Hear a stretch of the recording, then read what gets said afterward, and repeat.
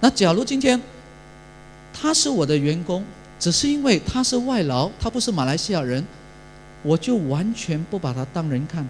他里面没有百分之九十的水，他就不需要肯定，他就不需要尊重，他不需要这个东西。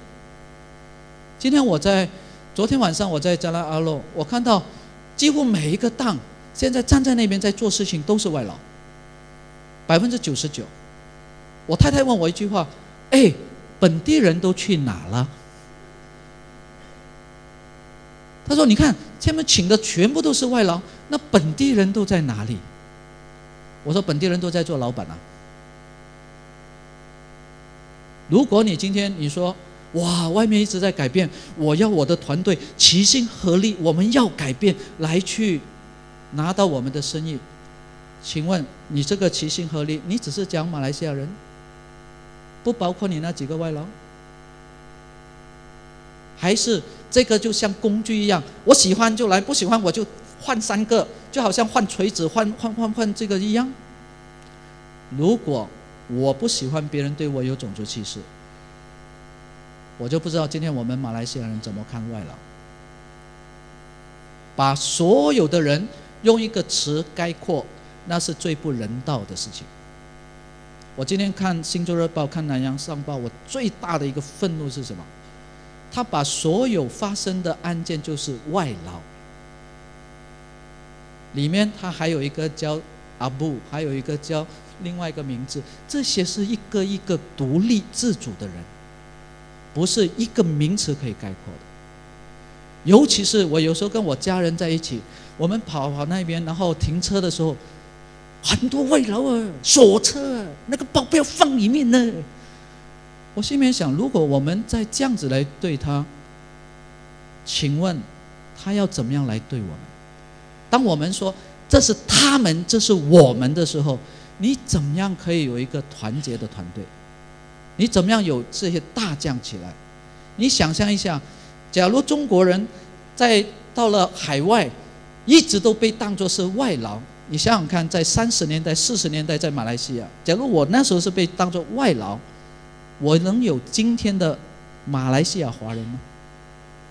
所以我们说将心比心，如果今天我们要管理上做得好的话，不管对方是谁，我们把他当人看，做得好的我用他，做得不好的我换掉。那么用这样的方式呢，你才发现到。我就看到它里面也是百分之九十是水，我怎么样让他看到他的画面？怎么样可以有阴柔的力量关心到他？然后我的心跟他是连接的，他可以感受到我是个人，我尊重他，我有我的界限，我不把他当工具。那我相信呢，只要我们做到这一点，在做这么多家公司。在很短的时间里面，我们就有很大的不一样。今天这个事情不光只是发生在马来西亚，我们在在中国有这样的情况，在美国有这样的情况，在英国有这样的情况。我去了这在在新年前，我去英国，我去伦敦，我都看到这种情况，因为在英国里面有很多印度人，尤其在伦敦，结果你就发现到。英国人怎么看印度人？